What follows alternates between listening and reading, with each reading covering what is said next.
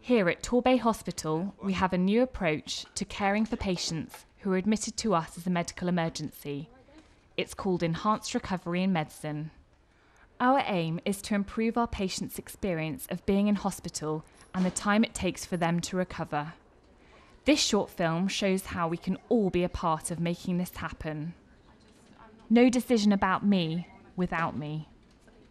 What is enhanced recovery medicine? Well, enhanced recovery medicine means involving patients and their families and their carers in decisions that can be made about them during the hospital stay. And it's really important that it lets people get involved in choosing what is the right thing for them to help get them better more quickly and safely, using a whole range of healthcare professionals to help them make those decisions. Good morning, Mrs. Edwards. Morning. How, how are you feeling this morning? Better, thank you. My name's Libby, and I'm coming to take the drip down this morning, if that's okay.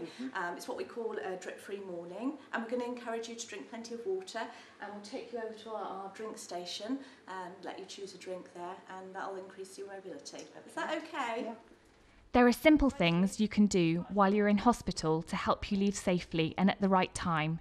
You can drink plenty of water and energy drinks. This will keep you hydrated and means you may not need an IV drip. You can then get up and get dressed and move around. You can use the drink station at any time. The difference the enhanced recovery has made to my team is that it's actually changed the focus of the nursing staff. It promotes much more independence for the patients and actually it, it enables them to participate more in their own care. A good example of patient and carer participation was just last week. We had um, an elderly lady admitted from a care home with confusion. She had a daughter who we invited to the ward round to firstly allow the doctors to gain more information about the patient, but more importantly, to allow the family to become more engaged with the care and decision making that the patient was going to receive. Well, if I stand up next to you and hover, you stand up just be careful. Don't race off straight away. All right? Yep. Got your balance? Yep. Okay, let's have a little walk and see how you feel. It's important when people come into hospital to maintain their independence. We like to get people up and walking within 24 hours, which helps them to do everyday activities of living and stops them from getting muscle weakness. When it comes to going home, we want to ensure you know what day you're leaving and how you're getting there. We will help you organise this with your family or carer. My role as discharge coordinator is to gather as much information as what I can at the beginning of the patient's stay from the patient and possibly their carers to ensure that on the discharge day everything runs smoothly.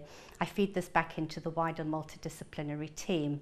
Things that can go wrong on day of discharge is um, transport. The patient worries about how they're going to get home or if they've got keys to get into their property. I can make sure that this is all sorted before the discharge day so that on the day everything runs smoothly.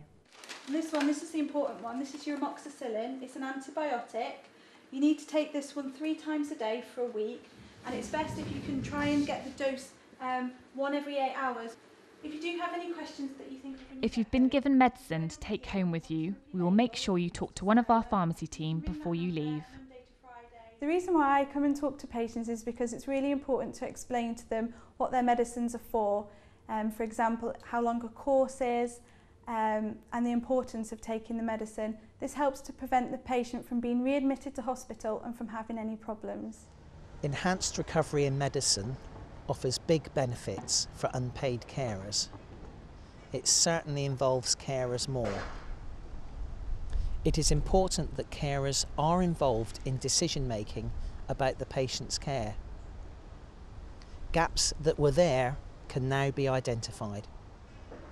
We can also offer support on a continuing basis for carers after the patient is discharged home. There will be more information about this at the end of the film. So what are the advantages of, uh, of enhanced recovery in medicine? Well, we see it as a partnership between healthcare professionals and the patients and of course their carers. And it allows them to be involved in decisions about their own care and gain early independence. And we do believe this is going to improve their experience and hopefully reduce the amount of time they need to stay with us. No decision about me without me.